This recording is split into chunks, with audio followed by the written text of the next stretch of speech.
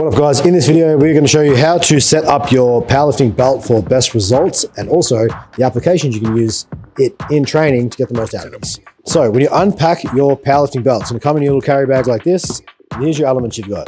You've got your lever, you've got your mounting plate, two hex screws, and then we've got the belt itself. So we want to line up the belt. We're going to use this for Pierce, who's going to be our model for the day. We've already marked out his exact spot, but all you need to do is take these two screws, put them through your back plate. It's going to give it a nice strong position so your lever doesn't twist and wreck your belt. It's going to spread the force out. We throw these, as you can see on here, we've already pre-measured this, so it made it for a seamless video. I just want to make sure that the logo and buckle are the same way up. So we're to line those up. I've got a screwdriver here, and I'm probably the least handy person on earth, but hopefully this will work pretty well. Straight to the Make sure I've got a lever on there nicely.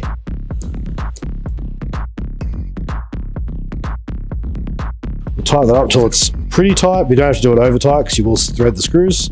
You get strip the heads, which is not, not very good for your life, for your belt. And that's pretty much what you want it to look like. You want the screws to look pretty flush in there. And then you'll have your buckle and your print same way up. Now that is ready to go.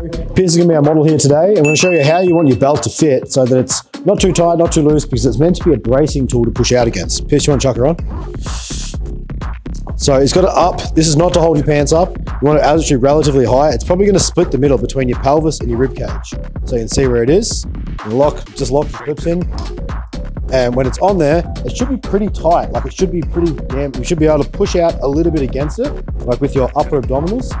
Um, but you don't want it so tight that you basically can't, if you've got to breathe in super heavy and you put it on and you can't breathe out, the belt is a bit too tight and it's going to limit the amount of like bracing or intra-abdominal pressure that you can create, which is going to limit strength in the lifts. Now we'll show you through a couple of uh, applications, how to get the most out of your belt. All right, so we've got Pierce all set up here with the deadlift bar.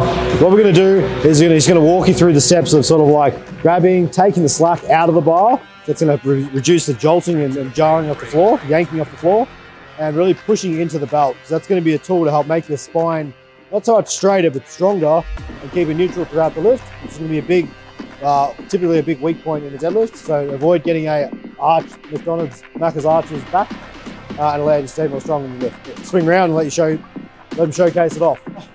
Taking the slack out and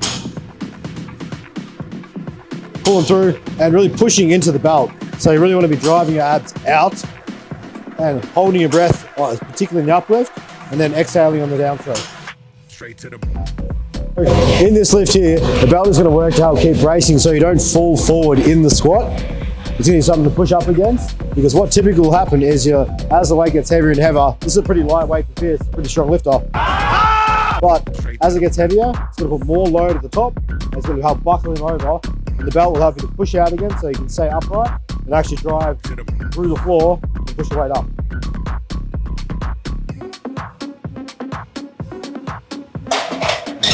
All right, so in this lift, we're using the belt as a bracing tool so you can get more intra-abdominal pressure to stay static so that the upper body is staying relatively still. It's gonna help strengthen up the weakest point in the lift, which is that bridge in the middle of Pierce's back here. So otherwise, it's gonna pull extra slack and the tendency is gonna be to bow really heavily and to yank, and it's gonna put a lot of stress on that lower back in particular. This is gonna make it a, it's not gonna support you, so strengthen your back. It's gonna make, put you into a stronger position and so you can create more intra-abdominal pressure, which is what keeps your back safe and your spine strong. When you're in between sets, what to do with your belt. The good part about a lever belt, you don't actually have to take it off. All you can do is just unsnap it. It's gonna hang around your waist nice and comfortably. And then when you go to like do your set again, you can snap it back into place. That's it for this video. If you like this, hit subscribe down below. Stay tuned for more content just like this.